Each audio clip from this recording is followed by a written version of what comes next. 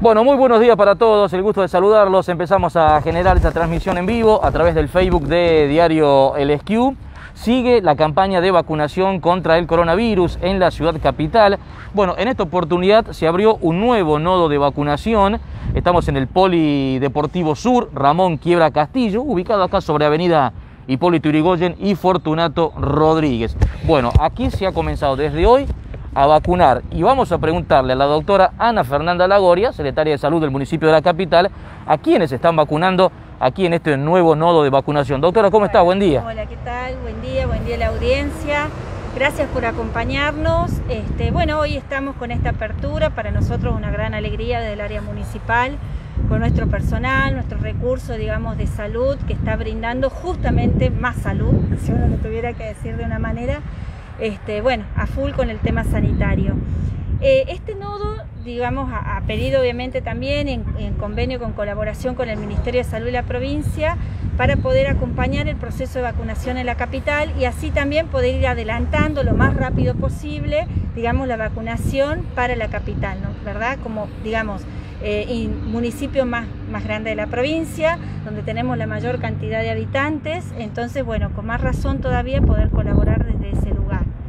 Este nodo, como vos bien decías, está ubicado en el sector sur, digamos, si bien es un poquito más céntrico que el resto, es el polideportivo, que muchísimas gracias a la Secretaría de Educación y Deporte del municipio que nos ha brindado el espacio, este, y con el ministerio, que bueno, obviamente la logística, digamos, la estrategia y la logística es lo que el Ministerio de Salud nos proporciona a la capital para poder llevar a cabo. Como así también eh, eh, digamos, el grupo etario a vacunar o quiénes serían los beneficiarios, siempre eso lo decide o digamos, según el protocolo y lo que está establecido por grupos de vacunación, el Ministerio de Salud nos está brindando, mm. digamos, esa información día previo a la vacunación para nosotros saber cuál va a ser el grupo etario que vamos a estar esperando al día siguiente, ¿verdad? Para proporcionar la prestación. Entonces la logística viene desde ese lugar. Eh, nosotros, bueno, proporcionamos el recurso humano, el, espacio, digamos, y bueno, todo lo que sea necesario con respecto a equipamiento de protección personal, bueno, que el personal esté, digamos, cuidado también, ¿no? Para, para el proceso.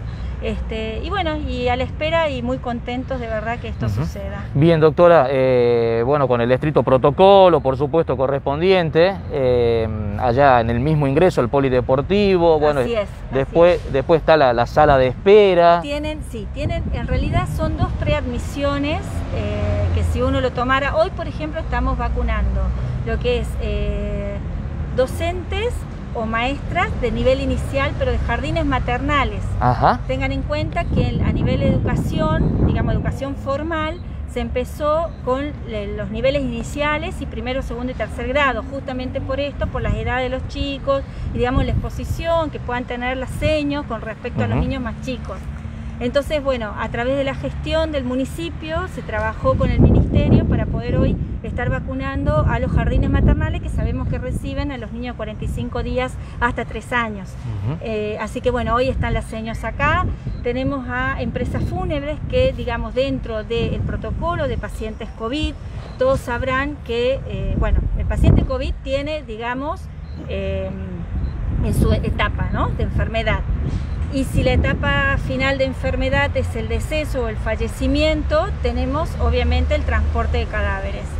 Eh, quizá esto no es muy lindo hablarlo, pero es importante que lo digamos y por esa razón son nuestras empresas fúnebres que están trabajando con protocolo y demás las que, digamos, llegan al sanatorio al hospital Malbrano o un sanatorio privado, porque también puede pasar, y donde ellos hacen el traslado de cadáveres hasta su deposición final. Entonces, eh, ese, traslado y todo lo demás también tiene que ser cuidado y también son beneficiados con respecto a la vacunación. Esto es importante aclararlo para que la gente entienda también que fuera de salud hay otro personal que también es estratégico con respecto a la evolución de la enfermedad, que es importante aclarar. Cuando ingresan al predio van a notar dos preadmisiones. La primera preadmisión es para rechequear rápido, está o no está en el listado, que obviamente rechequeamos que así sea. No se tienen que olvidar el documento nacional de identidad, esto es fundamental. Es, fundamental presentarse con su DNI porque es lo que acredita la Sin el DNI imposible que puedan Sin el DNI ingresar. No va a poder ingresar, salvo que tenga, porque le podrían haber extraviado, Claro, podrían haber lo que bien. sea. En la policía hace el trámite pertinente, que está su DNI en trámite, no hay problema, pero con una constancia que así lo aclare. Bien. Eh, se hace un pequeño triage, el triage consta toma de temperatura, evaluamos 3, 4 síntomas, ¿sí? si la persona pudiera estar en ese momento y a lo mejor uno con el día y el entusiasmo no se da cuenta, che, la verdad que estoy medio resfriado, estoy medio congestionado, estoy con un poquito de tos, porque no sería, digamos, muy compatible con la colocación de la vacuna. Entonces, y aparte de eso, digamos, estar también, digamos, en contacto podría predisponernos a un riesgo, ¿verdad? Bien. Entonces hacemos un pequeño triage.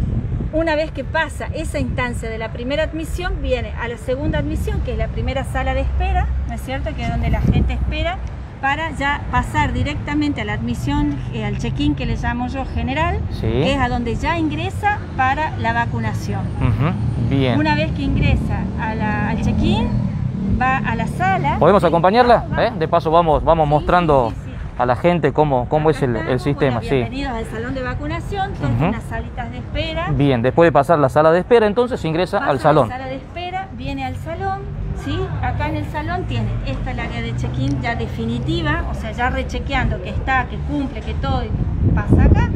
Y los chicos ya los ordenan en los diferentes box que están acá, que ustedes podrán ver. Bien. Son los diferentes box donde está estipulado, ¿sí? Donde van ya, esperan sentaditos, llenan eh, el asistente del vacunador, ¿sí? Llena su carnet de, vacuna, de vacunatorio, Ujú. ¿sí? Porque el paciente se va con su carnet. Una vez que está lleno su carnet con los datos, digo, es muy importante eso, ¿sí? Completarlo tranquilo, con todos los datos, con letra legible. Este, se coloca la vacuna y posteriormente pasan hacia el final del salón donde hay dos personas que es donde se hace ya el ingreso final al sistema nacional de- el nomenclador o al sistema nacional que se llama Nomivac, que es donde queda ingresado el paciente que recibió la vacuna. Bien. La vacuna que sea, ¿no? Sí, sí, Pero sí, eso ya queda registrado y ya está, digamos, a, a nivel nacional, ya lo toma el registro nacional.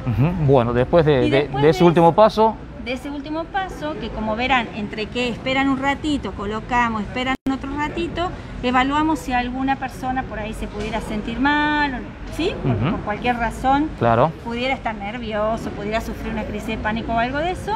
Está el sector, digamos, como de enfermería, tenemos una ambulancia postada por cualquier eventualidad y una vez esto y egresa, que está allá a la salida, digamos, este, que no es el mismo del ingreso. Egresa por otra, por otra salida para no justamente a- aglomeración de gente y poder estar en esta situación. Bien, bueno, eh, me recuerda entonces la- las edades de las personas que están vacunándose aquí en el nodo del Polideportivo Sur. Hoy, ahora, en este momento estamos vacunando personas, eh, digamos, que están englobadas en empresas fúnebres y seños o docentes de jardines maternales. Bien. Hoy este es nuestro primer listado y el que iniciamos hoy. Bien. Eh, las edades son hasta 59 años, 29 días este, por el momento y eh, posteriormente, mañana y pasado, vamos a empezar con las personas que tienen factores de riesgo entre 18 y 59 años que ya se han anotado y se han registrado en la página que el Ministerio de Salud a través de la- del Ministerio de Modernización subió a las redes, entonces Sí. los que ya están, ya tenemos ese listado registrado.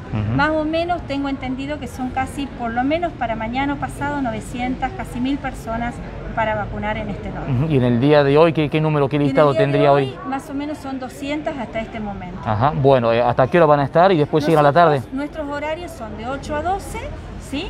Y de 17 a 21. Ujú. Dado por ahí el lugar, el calor, a la siesta es complicado, entonces de 17 a 21 va a estar habilitado el vacunatorio. Bueno, mañana entonces va a ser una jornada a ver... eh, Mañana va a ser una jornada ardua. Sí, sí, claro, vamos claro, a teniendo en cuenta ese número de personas ya anotadas. Sí, sí, sí. Igualmente están, digamos, ya eh, se, se los notificó cada persona y eso es muy importante aclarar.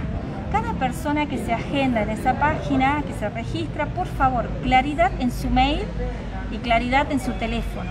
Porque desde el área de modernización o quien hace la citación va por mail o los llaman por teléfono si no llegaran a tener. Entonces la población que se registró que esté atenta a su teléfono o a su mail porque ahí tiene el día y la hora que tiene que concurrir y a dónde. Perfecto. ¿Sí? en este momento va a ser acá. Bien, bueno, doctora, ¿cómo está la, la, situación epidemiológica en general aquí en la ciudad capital con respecto al coronavirus? Y capital seguimos complicados, pero, pero bueno, yo creo que vamos avanzando, eh, no seguimos insistiendo, yo no me canso de decir, el uso del barbijo, el distanciamiento, el lavado de manos es fundamental, más allá de la vacuna y todo lo que pueda venir a partir de ahora. Yo creo que no hay que relajarse. Eh, ha iniciado las clases, han iniciado, cosa que damos excelente, pero bueno, necesitamos que, nos sigamos cuidando, básicamente. Está para bien. Que todos podamos seguir con la normalidad que queremos. Bueno, por ahí una consulta, mayores de 70 años nos preguntan. Bien. Sea mayores de 60, de 60 en adelante, el las personas adultas mayores o mayores de 60, porque no van a matar los mayores de 60, eh, se va a seguir realizando la vacunación en el predio ferial, salvo que nos habiliten en este sector. ¿Por qué?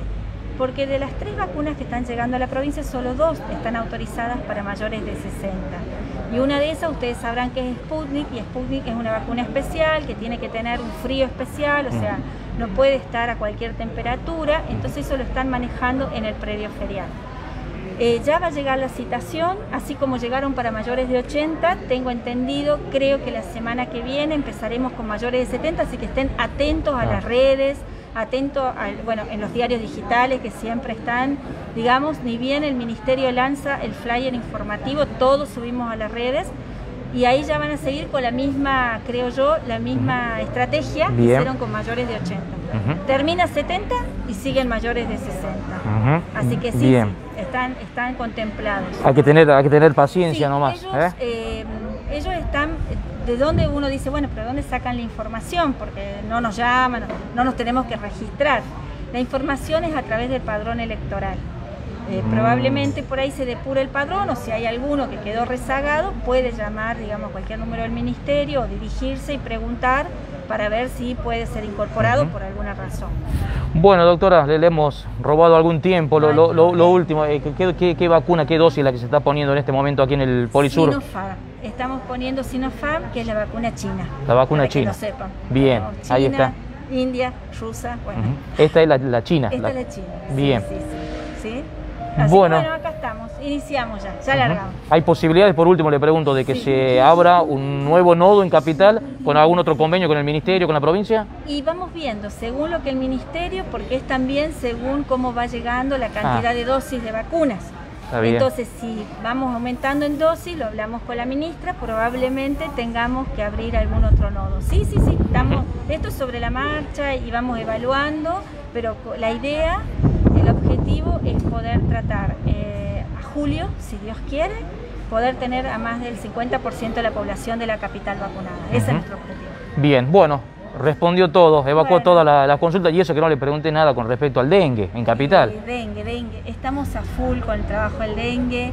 Eh, quiero que no se relajen, venimos muy bien por suerte, estamos en vigilancia. ¿Esto qué significa? Aquella persona que presente síntomas compatibles, porque vieron que hay varios que son eh, compatibles entre los dos, COVID y dengue, que por favor concurran al centro de salud. Los centros de salud están en vigilancia. ¿Qué significa esto?